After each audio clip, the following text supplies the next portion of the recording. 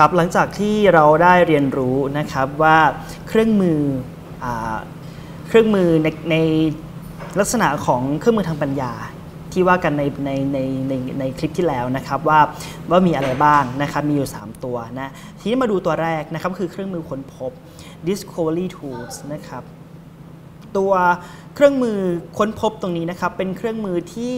สนับสนุนในการสาะแสวงหาสารสนเทศ ในการค้นหาข้อมูลเพื่อนำมาเป็น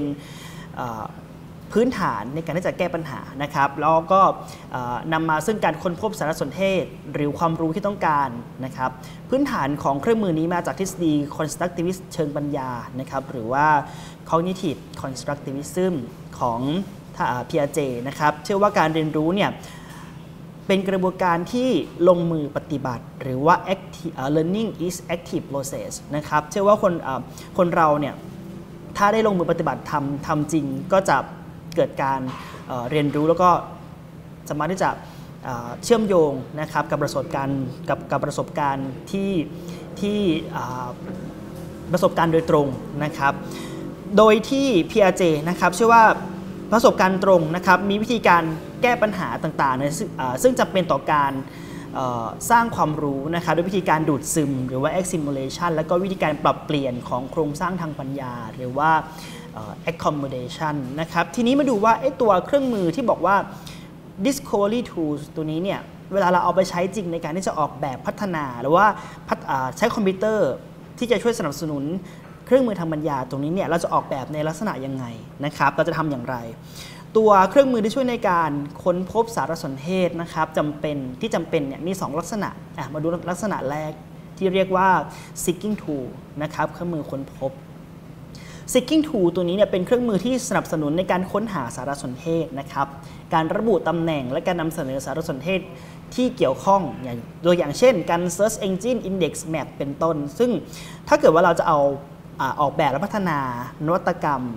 ทางการเรียนรู้ที่จะส่งเสริมให้ผู้เรียนเนี่ยได้พัฒนานะครับที่เป็นเครื่องมือทางปัญญาตรงนี้ถ้าเราออกแบบในลักษณะของ seeking tool แล้วก็อาจจะเป็นลักษณะของมีปุ่มให้เขาได้ search นะครับาการ search engine อาจจะไปที่ Google Yahoo หรืออะไรต่างๆนะครับ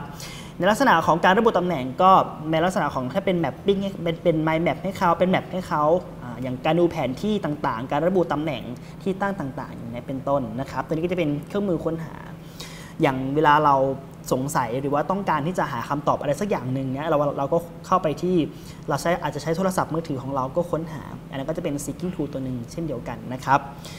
อันที่ 2 เรียกว่าเป็น collecting tool นะครับ ตัว collecting tool collecting collecting tool นะครับ เป็นเครื่องมือที่ใช้ในการสะสมและรวบรวมสารสนเทศที่เกี่ยวข้อง หลังจากที่เราได้ไปค้นหามาแล้ว อย่างเมื่อกี้เนี่ยเราใช้ seeking tool ค้นหา ต่อไปเราจะทำยังไงเราก็จะรวบรวมสารสนเทศเหล่านั้นเนี่ยเอาไว้นะครับซึ่งในการรวบรวมสารสนเทศเอาไว้เนี่ยก็มีหลายส่วนบางคนอาจจะรวบรวมแล้วแล้วก็แล้วก็เอาไปเรียบเรียงเอาไว้ที่อาจจะเป็นลักษณะของบล็อกของตัวเองนะครับแล้วก็จะมีเครื่องมือที่อาจจะเป็นตัวสะสม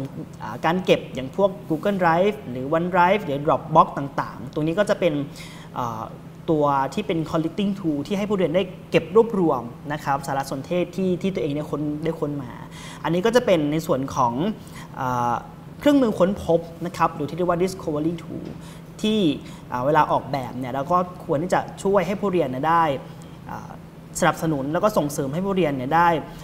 พัฒนาในส่วนของ cognitive process ของเขานะครับ